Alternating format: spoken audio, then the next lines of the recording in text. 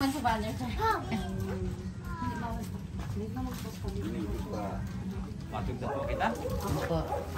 the name of the Father, and of the Son, and of the Holy Spirit. Amen. Lord be with you. Peace with this house and all that live here. Brothers and sisters, we pray for the Christ who came worthy to be born of the Virgin Mary, to dwell among us, in order that he may deem it worthy to enter under this roof and bless this house and family with his presence. May Christ the Lord be present here in your midst, nourishing your mental love as brothers and sisters and as a family, sharing in your joys and comforting you in times of grief. As followers of Christ's commands and examples, primarily be concerned with making this house a home wherein the sweet odor of Christ's goodness spreads far and wide. We now listen to the words from the Holy Gospel according to St. Luke chapter 19 verses 1 to 10. Entering Jericho, Jesus passed through the city. There was a man there named Zacchaeus, the chief tax collector and a wealthy man.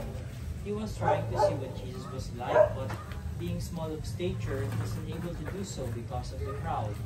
He first ran on in front, then climbed a sycamore tree, which was along Jesus' route, in order to see him. When Jesus came to the spot, he looked up and said, Zacchaeus, hurry down. I mean to stay at your house today. He quickly descended and welcomed him with delight. When this was observed, everyone began to murmur, He has gone to a sinner's house as a guest. Zacchaeus stood his ground and said to the Lord, I give half my belongings to the poor. If I have defrauded anyone in the least, I pay him back fourfold. Jesus said to him, Today salvation has come to this house, for this is what it means to be a son of Abraham. The Son of Man has come to search out and save the lost. The Gospel of the Lord. Praise to you, Lord. So thank you sa pagpapagpapagin pagkatag sa activity. I cannot pass this out because close up the family window.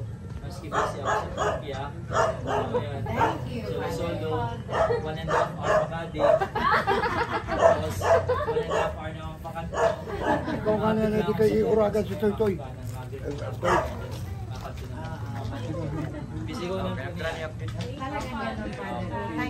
kay.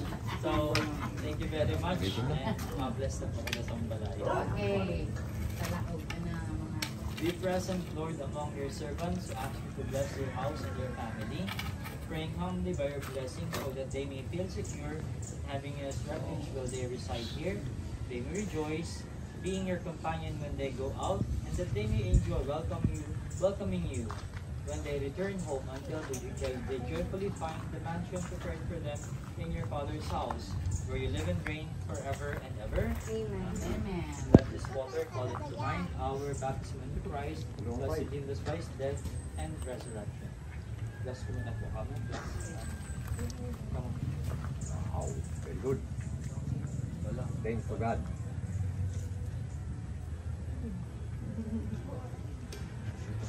Ay na kay. Ay, sa inyo yung ako ha. Video ko pa yun. Lolo! Amo ate. Lolo! Sa'yo mo na yung kaya picture ako. Baik sila.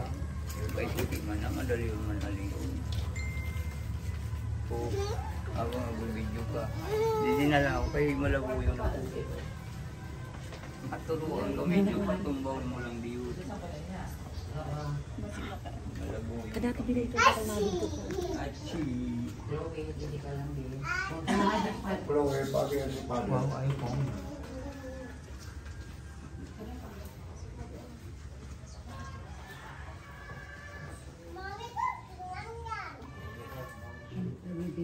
Anak, igilid din natin yun. Igilid.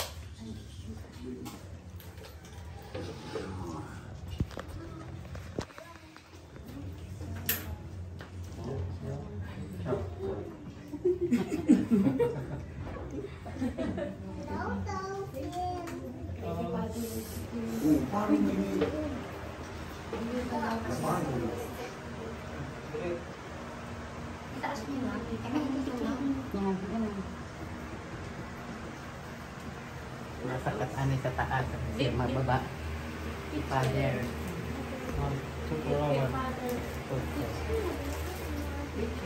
ani sa taas.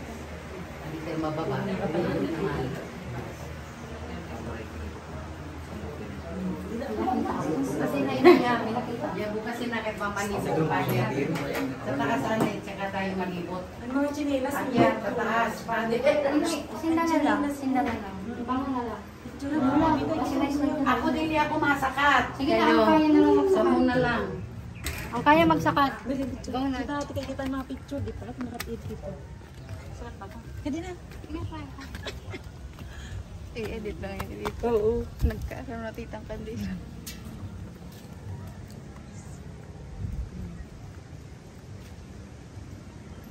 Para pala sunod na kami. Kaya para dahil picture.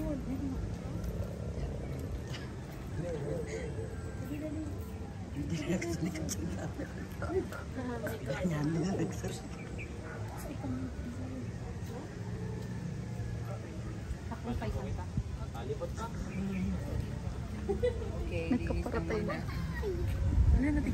Kaya mo lang din. Sige, tigay ka ng picture. Ay, ako. Okay? It's okay.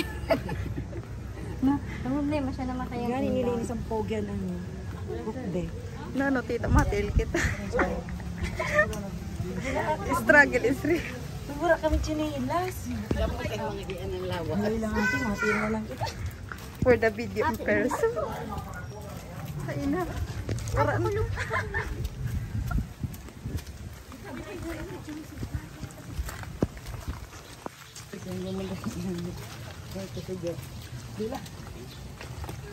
Uy, kaya wala ka ng na ako. Kaya ang para video na uwi.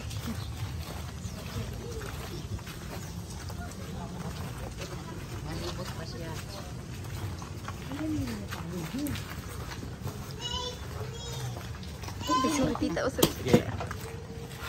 Let us pray.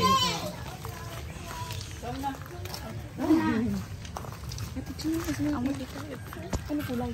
May the peace of Christ reign in our hearts, and may the word of Christ dwell abundantly within us, so that whatever we do in word and in work, we will do in the name of the Lord. Amen. The Lord be with you, And the spirit. and may Almighty God bless you, the Father, and the Son, and the Holy Spirit. Amen. Thank you very much. How do you say that in Mandarin? Sheshe?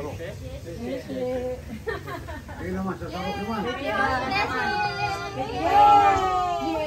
Mag magpa-good bitter na po ako. Ay, oo na. Ay, oo pala. Yung tita. Ay, na. Tingin sa bente. Ang nanay videographer. Pagay! Minsan kita sa di. Hoy, di di ako kayo iwan. Bawal, bawal. Mawa ba itong palaong? Palaog ba? Naguhulo na. Pagkada na. Ganyan.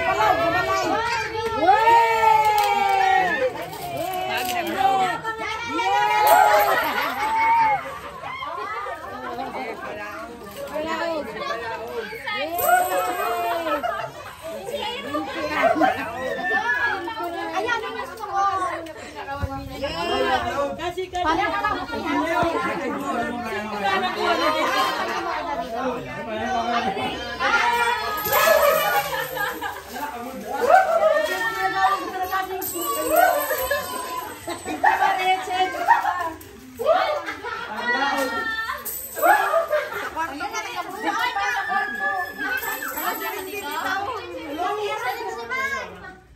Hoy, sa kwarto na